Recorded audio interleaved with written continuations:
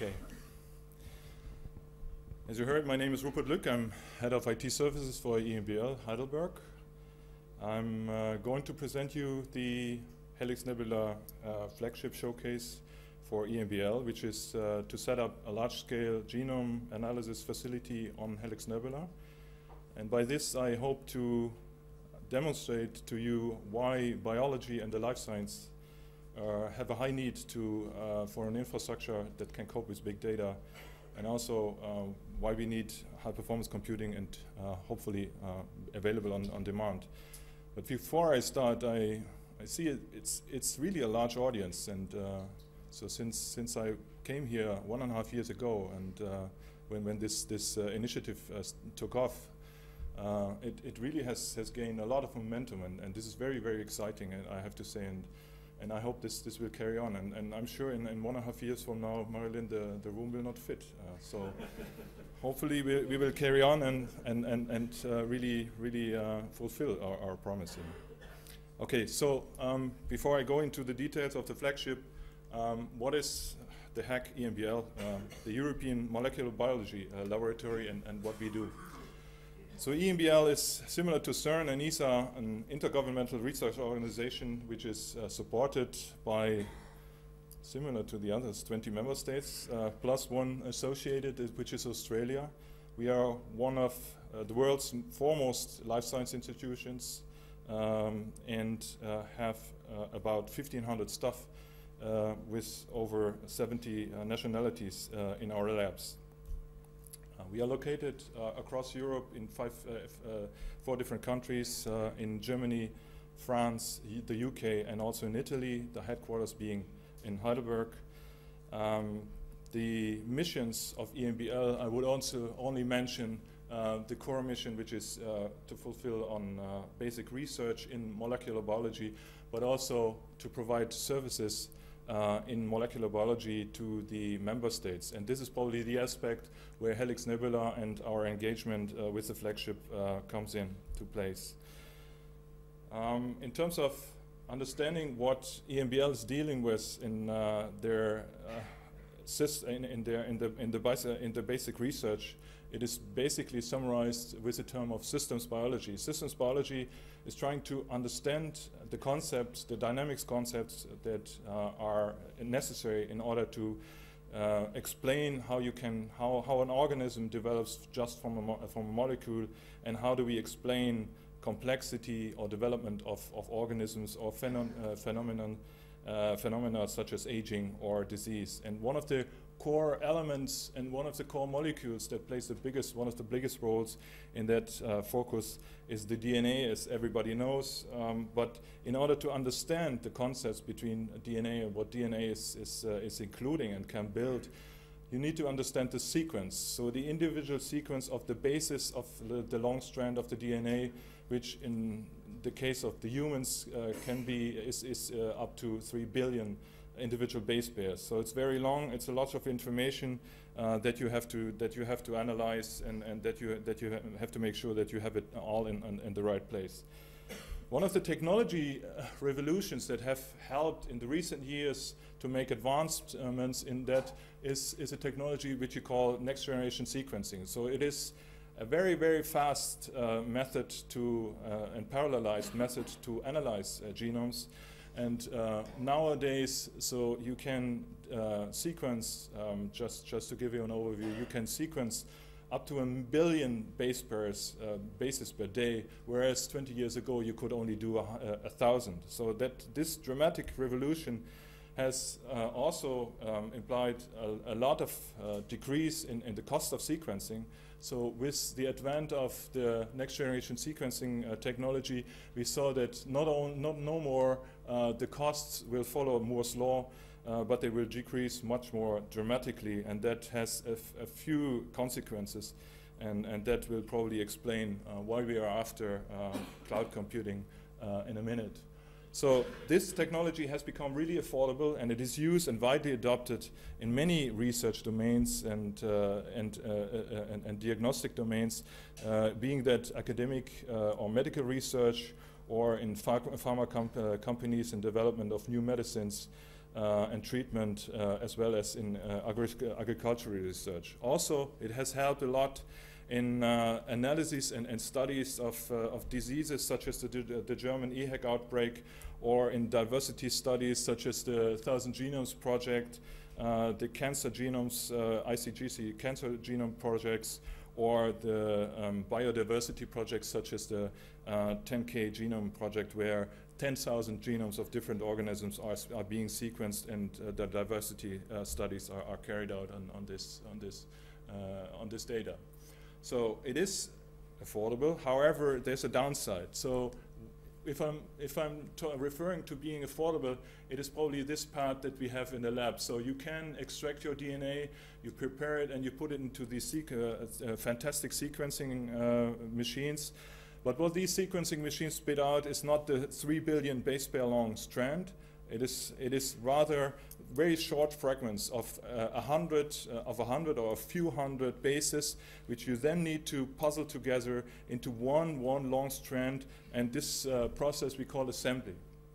So it's really solving a, a, big puzzle. Then on top of that, you need to annotate, um, and this annotation is really making sense out of these uh, out of these uh, individual sequences. So to say in this area we have a genome A, this uh, a gene A, in this area we have a gene B, here we have an enhancer, here we have a promoter, so that you really understand the functionality uh, of, of, these, uh, of, of your genome or of the part of the genome. And this is guess what? It is very compute, very data intensive, and this is where, uh, where uh, and on top of this also, you need a lot of expertise in terms of bioinformatics and, and there's a couple of people that uh, EMBL really uh, has, uh, has, has helping us in, in that area. So, and that, that's, that's probably, and, this, and these infrastructures probably do not, eventually not exist in all of the labs that employ these technologies. So um, that is probably the selling point for, uh, for, for, these, for this infrastructure that we are setting up.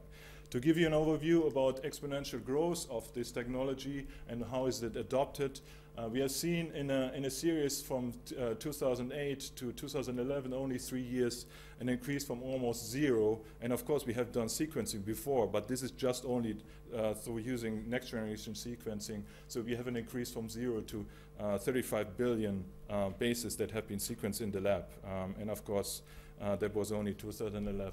Also, in terms of data that is coming to our disk and need to be analyzed, it is, um, I'm not sure if that is still correct, but it is more than 25 terabytes per data of, of data coming from the individual technologies, and there's a whole vari variety of, of technologies uh, and next generation sequencing experiment uh, uh, devices uh, going to be applied. And this uh, requires powerful high performance storage uh, plus computing. If you look at a more global scale, what what is the what what can what what what is the the global challenge? Uh, you might you might want to look at uh, how many species are there that we can that scientists can analyze. It is close to nine billion, uh, nine million. Sorry. Uh, then on in top, the, in, in terms of uh, in terms of personalized genomics, which is which is a topic which is becoming more and more relevant in in in, in medicine. we have uh, 7 billion people who are of, uh, of, of whom probably a, a, large fraction could be suspect of, uh, of, of, this, of using this technology in, in the future and to analyze their genomes in order to understand uh, medical treatment better or individualized uh, treatment and, and better and enhanced treatments in, in the future. Um, if we look how much data throughput can be generated by, let's say, only the market leading the mar market leading devices and, uh, and uh, that are that are that are deployed worldwide, um, which is 15, 1500 of, of these Illumina HiSeq dev uh, devices, we have uh, uh, we have several petabytes of data. Uh, that are generated or exabytes uh, of data per year. So it's a lot of data that needs to be analyzed and needs to be looked at. And uh, not all, as I said, not all of the labs uh, have the uh, relevant infrastructures. So our proposal is, is definitely to create an infrastructure in, in terms of understanding and, and to provide large-scale uh, genome sequencing based on on-demand processing capabilities that is uh, offered by Helix Nebula uh, cloud storage, uh, on-demand cloud storage in, in uh, facilities, and also the capabilities while we are already in the cloud so that we can leverage the potential of existing uh, infrastructures such as the European EMBL's European Bioinformatics Institute uh, in, in the UK or other resources uh, such as the NCBI or other, um, you name it, resources uh, for analyzing your data, for enriching your data, for archiving your data and, and things like this.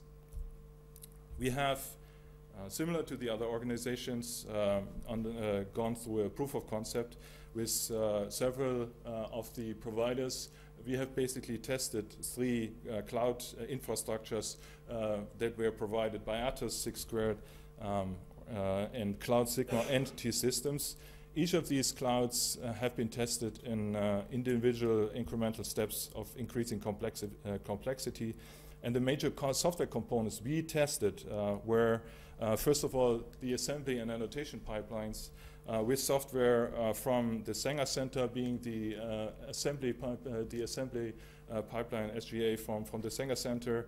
Um, also the annotation pipeline on the basis of Ensembl, which is a joint project also by the Sanger Center and the European Bioinformatics Institute. Um, I think I have mentioned that we have a need for providing fast shared file systems uh, so that we can make the compute infrastructure happy. We tested GlusterFS as, uh, as, a, as a component. Um, and in terms of uh, automated provisioning of cloud resources uh, based on your needs so that you can really can start and create your clusters on demand to the size that you really need where, where your requirement is. We use a, a, software that is called StarCluster, which is basically originating from uh, the MIT. Um, to elaborate a little bit more on Star Cluster, Star Cluster, what does Star Cluster for us? It, I mentioned it provisions uh, the the cloud uh, the cloud instances, so it it, it helps us with provisioning the images and setting up the cluster. It requires an EC2 Amazon EC2 interface, and it can also deal with fluctuating workloads, so it can terminate instances, it can add more instances uh, where they are needed. And in terms of scheduling all these individual jobs, we have thousands of jobs that need to be run in, in, in, a, in a pipeline.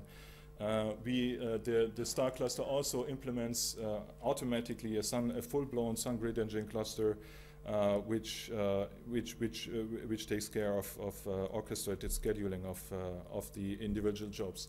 So in terms of under, schematically understanding how, the, how the workflows how, how the workflows come into place.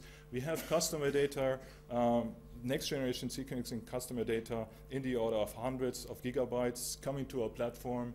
And then we have Star Cluster as the component which helps us to automatically deploy the shared file system that can, on uh, in this very fast capacity, very fast performance, uh, in the order of gigabytes per second, which is a lot for, for cloud computing uh, resource, uh, provide and, and, make happy the individual uh, grid engine, standard grid engine HPC cluster compute nodes, which also are automatically deployed based on a command set from, from, from Star Cluster. In order to show you a few of the results that we, that we gained from the pure proof of concept, um, I have list. I, I, show you um, the the uh, the set of, of annotation jobs and the, the sustainability and, and, throughput of the Engine uh, cluster. We see here 20,000 jobs across uh, one hour, um, just uh, equally distributed on the 15 of the on the 50 nodes. So the SunGrid Engine works quite effective. It works quite fast, and uh, also it's it's quite sustainable over over a longer time. Also. Uh, the file systems, uh, we, the file system that we have implemented with GlusterFS is very capable. It is very uh, providing very sustainable uh, throughputs. Uh, in this case, 60,000 I/O blocks per second for an annotation jobs on on on 50 nodes. So it's that that's quite decent, and that's already comparable to what you can achieve in in, an, in a local data center that that you operate.